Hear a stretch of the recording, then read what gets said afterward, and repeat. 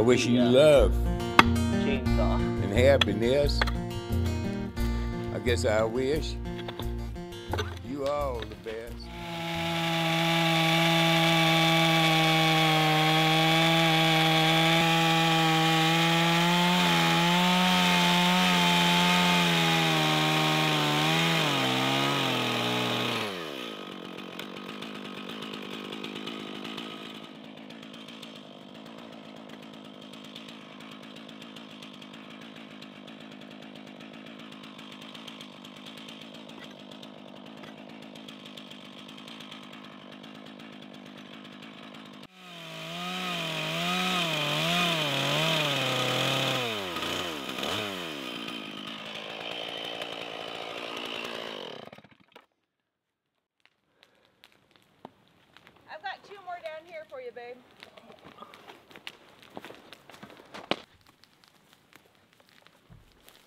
So you take the Pulaski and dig around that while I'm cutting.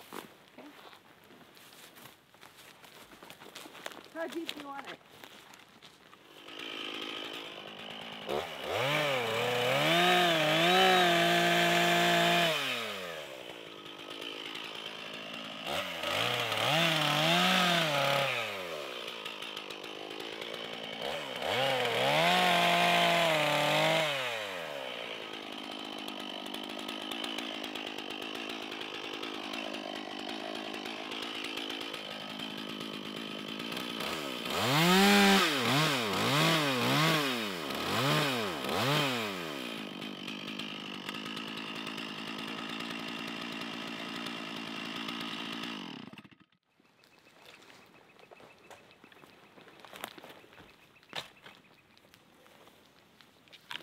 You know what they say, right? What's that?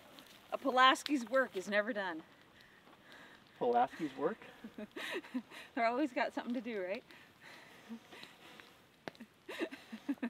I thought there was more to it than I, I originally thought.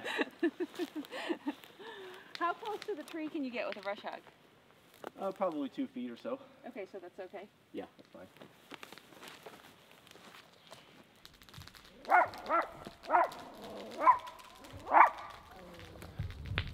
She knows that the duck is bigger than she is. So this is a little trick I call uh, the stump mushroom, mushrooming the stump off. Uh, what I do is I cut it down flat as, as much as possible. And what, what you'll find with a stump, stumps will last in the ground for 50 years and you'll trip over them for 50 years and you'll hit them with everything. You can take and knock off, kind of bevel or facet those corners.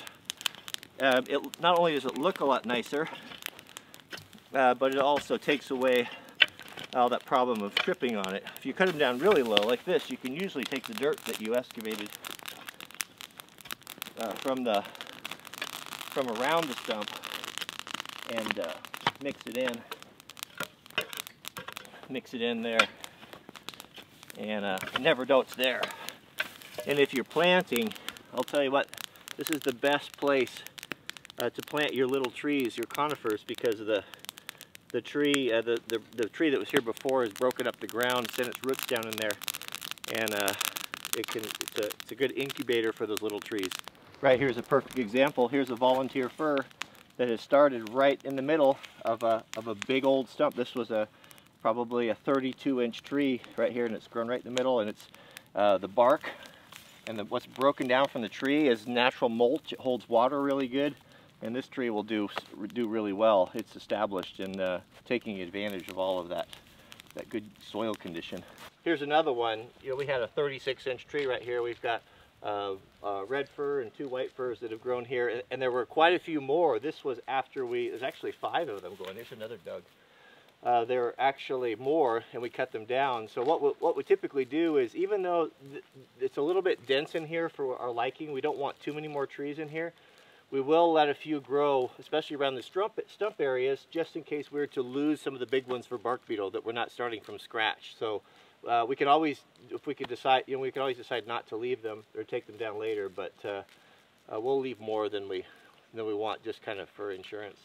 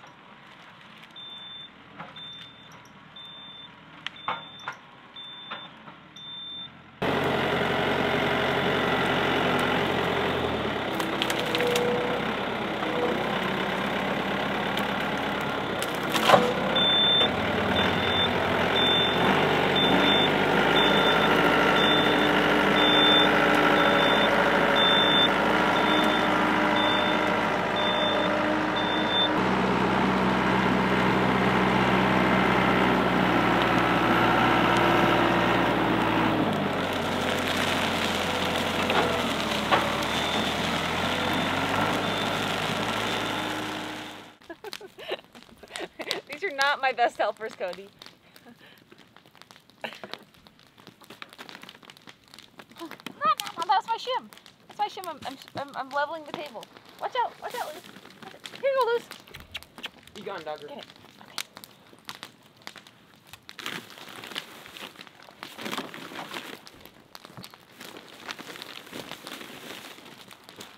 Oh, thank you. So, what do you have for us for lunch today? My sweet boy is getting pickle relish. And we have salsa if you want. Mustard, ketchup.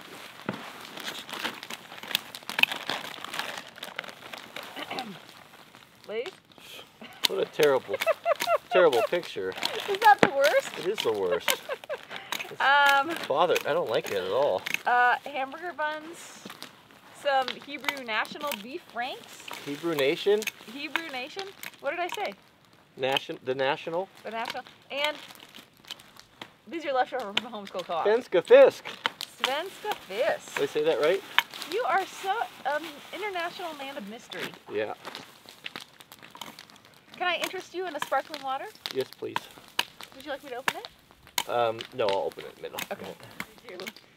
Heart Racer, there's always an extra one for you. Mm-mm. Yes, there is. And Miss Pants.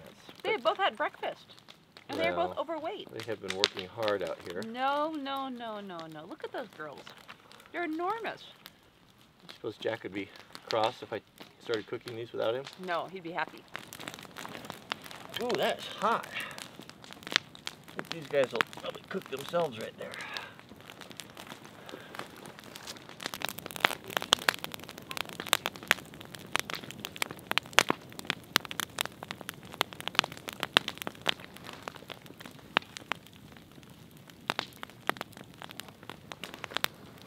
Heart Racer, you stay away from those wieners. Heart Racer, you stay away from those hot dogs. You too, Miss Pants. Think I don't know what you're thinking about? She likes to bring her recliner with her.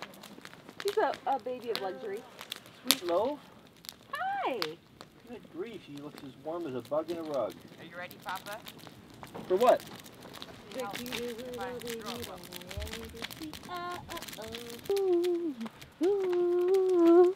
going on, Sweet Low? Cutie pie? She's just hanging out. She's got her cheeseburger. Just a sandwich. There, yeah, Jack is right. There is no patty on that. Bologna on it. She, you gonna bring her out? Nope, I think she is content and she's happy and I want to eat. All right. Don't be don't be too flipping those things around. They'll fall off. If I fell down right now, Heart Racer would be very happy. Yeah. I think Lucy would be happier. Hot dog buns? How does that work? Get, Lucy, look, just pants, get out of here. Good idea, Mama. Nothing but the best for you on our anniversary. Well, this is how I like to make it fancy. Wait, this is your You know how I am.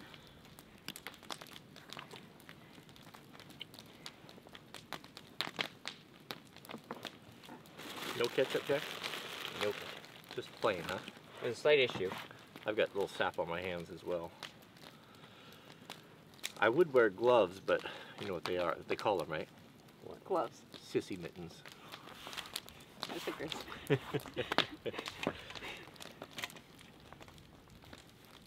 Dear Father, we thank you for this uh, food. We thank you for this beautiful day that we have to work together as a family. Thank you for 14 years of a wonderful marriage and for our two beautiful children, our children and young teen. And we just ask your peace and blessings be upon this family today and everyone who is enjoying this video. Amen. Amen.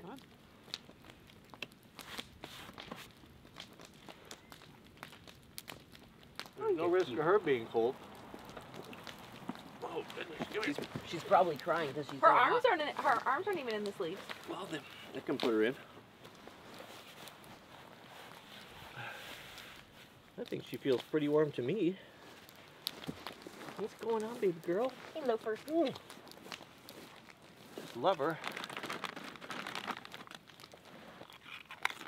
Got Jack's old hat on.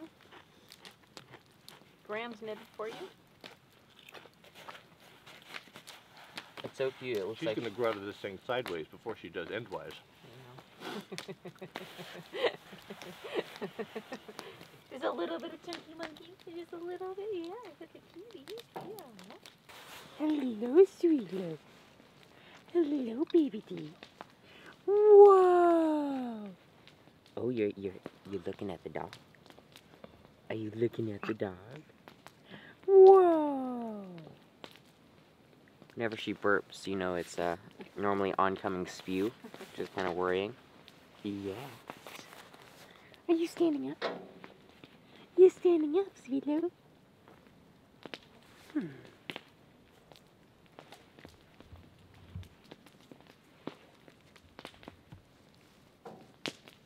That's not a very pretty face. No, it's not a very pretty. face. It's not. Oh, you spewing. That's nice. Whoa! Tickle, tickle, tickle.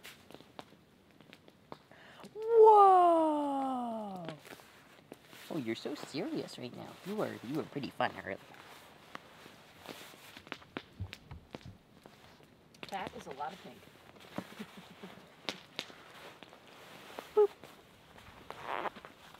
Look at you. You're so fat. You're so fat, baby D.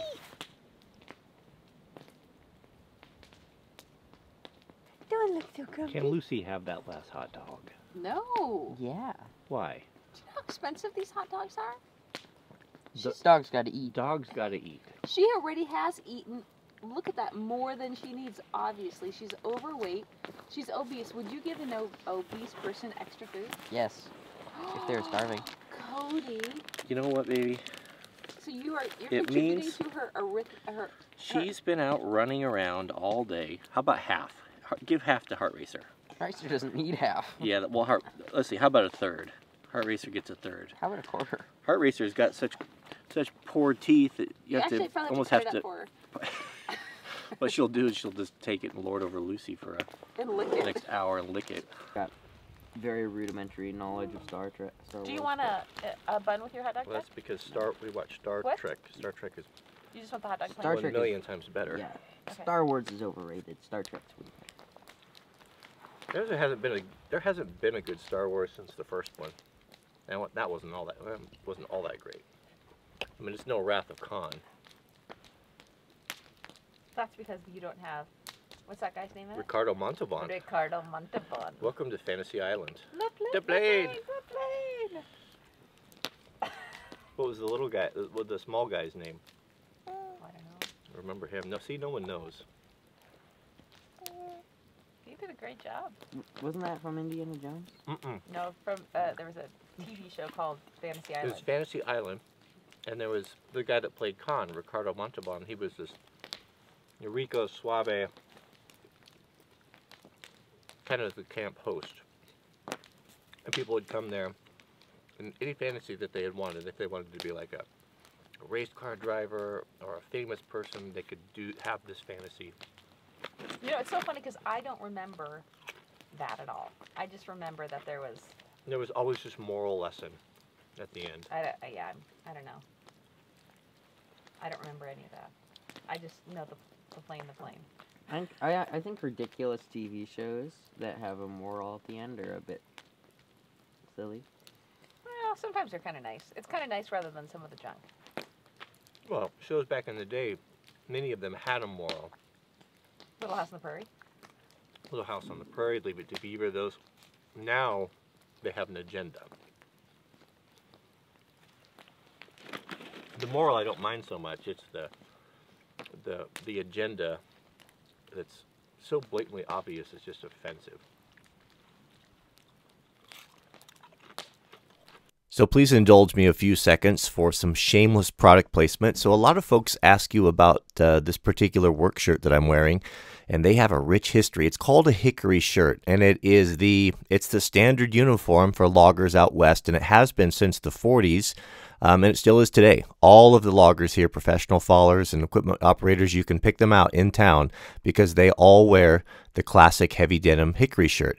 It's got a, uh, as I said, an interesting history um, in that um, it was some people called it a railroad shirt, uh, but it's made from a heavy cotton weave. It's very similar to a denim, and they're a wonderful shirt. Uh, being 100% cotton, it's a very cool shirt. It's a very durable, and it's really great for wind blocking. So I have uh, picked um, uh, picked out uh, the ones that I like and put them in my Amazon store, and they cost about $24. You can get them uh, from several different companies. Uh, Prison Blues makes them, I think, in Pendleton, Oregon, where the inmate crews sew them. Uh, you'll pay about $40 for one of those, or you can get one that's overseas for about 24 um, And both seem, I have both, and they seem to be both really good quality. So I'll put those at uh, wranglermart.com. There'll be a link in the subject heading uh, if you'd like to get yourself a really cool uh, work shirt that uh, will quickly become your favorite. Now, to the agenda. You know, I was thinking, you know, I was as I was editing this editing this this video and the, the last comment I made and um, and I was it, it brought my attention back to all of the wonderful uh, well-wishing comments that uh, I received or we received from you guys uh, wishing us a happy anniversary. And Mrs. W and I we read all of them uh, together and we we're really uh, blessed uh, to hear all of these wonderful stories. And, and, you know, for some reason, and I don't know, well, I guess I do know why, and I'll explain why. Um, I was a little bit surprised, like, wow, look at all the happy people out there, and, and, and fo- folks that said, yeah, we've been married for 17 years, for 25 years, for 45 years, and all of the, and, and all of the expressions of love. And, and I guess the general consensus was, is, is you all feel like I do, is that you can't imagine um, waking up uh, without your that loved one beside you. And when I was thinking about agendas, and I guess the reason why I was so surprised to hear this outpouring of love is that we have been um, bombarded for, for years and years about how messed up marriage is and how it's uh, drudgery and how it uh, never works out. It's how it's always settling and, and the old man and, and that that old bag and the fighting, you know, the the, the fighting husband and wife, and you know, it it it starts to rub off on you after a while. And you think of the depravity that comes out of Hollywood and everything that is good and wholesome and right and according to God's plan, a family that stays together, a family that loves one another, that works together, is portrayed as as it's perverted in some way, or there's always some dark hidden secret, or there's always some um, oh wait, what's the word I'm looking for? There is there is some uh, there's there's some something wrong how it's always fake, and and what they and they what they lift up is the depraved, and and everything that is anti-family you know that that and they would have us believe that that is the norm but it's not the norm. It may be the norm for those poor deranged souls but for the rest of america and for the for the majority of us family is everything and we love and respect our wives and, and we uh, take care of our families and and yes of course there are examples of men that, that walk out on their families and or women that walk out on their families but I, I don't think it's the norm and I don't think it's near as as prevalent as Hollywood would have us to believe. One of the main points I've always wanted to get through with this channel from the very very first days was the importance of family and that's why I do videos like this. I mean, there's nothing really here to learn, and and and I'm I'm always somewhat surprised that, that people sit and watch them. But uh, I think what it is is is we're all looking for am I normal? you know, I, I, you know, I, you might be asking yourself, I, well, I, I like to be home with my kids and, and I, and I, and I, and I don't uh, cheat on my wife and I, and I don't do all these things that uh, the world tells us that uh, is going, are going to fulfill us and make us happy. And I, I guess for us to come together here and to see one another living this way, it's, it's, um, that, that, um, that positive reinforcement and you're not alone um, and you're not weird and you're not uh, you're not messed up and you're not doing things wrong and you're not missing out I'll tell you what, I've lived both sides of the coin. And I can tell you, the world has nothing to offer. It, and, and, I'll close with this. It's, it's, it's so sad. Uh, I see so many examples of people that have bought this nonsense, bought this nonsense, and especially women. I, my heart really bleeds for the women. Uh, you know, we, we have a waitress that there's several of them. You know, waitresses that come through this restaurant that we like to eat at, and and you know, many of them are in their mid 30s or late 30s, And, you know, they were promised by feminism, modern feminism, that they could have everything, that they could go have a career and they could do this and they could have multiple partners and, and, and, and live this wonderful life and, and find this fulfillment. And what I, what I find with them is that now they're in their 30s, mid 30s, and they are working as a waitress. And all of the plans and all of the relationships and everything didn't really work out. And now they want to have a family and now they want to settle down and they want to uh, and they want to raise children and it's almost too late i mean and i know people will argue with this and, and of course there's exceptions to everything but you know 35 and you still haven't met someone and you know how long does it take to meet the right guy someone that's going to be a good husband and a good father and, and a good role model and a good leader for your family. I mean that doesn't happen overnight. That could take years. It could take what if it takes three or four or five years? Now you're 40 and what's what's your chance of of having a family? You know, it's it's it's really it's really sad. Um, I sometimes we uh, see these young couples in in our church that are getting married at uh, 17, 18, and we think, oh man, you know.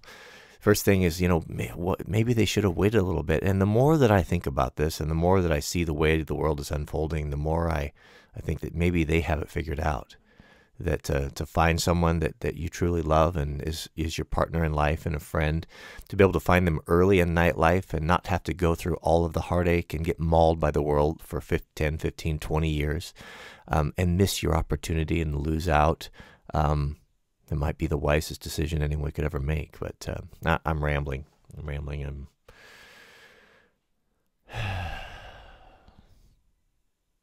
Everything's so messed up. But it doesn't have to be that way. The family is the is the savior of this country. Um, it is God's plan until He returns. It is the closest thing that we have um, to happiness that we'll ever find on this planet. Um, and uh, make sure you take after it. Take take care of it. Look after it. And uh, thanks for watching. We'll see you guys on the next video.